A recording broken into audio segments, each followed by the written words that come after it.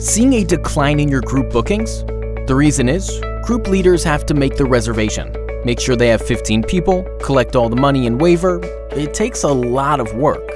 The old model of 15 people to get group rates just doesn't work anymore.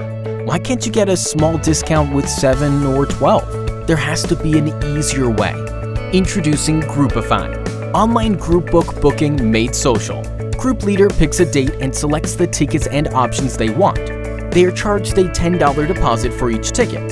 That starts the group and saves the credit card information. The group leader can invite friends and family via email or text message. Each group gets a unique URL, and anyone in the group has the option to send out text messages and invite others. At 24 hours out, the group is closed. The final price is based on the number of tickets the group is buying in total. Each member is charged the balance due and is sent an email receipt with their tickets. Now the group members can show up when they want, show their receipt, and hit the slopes.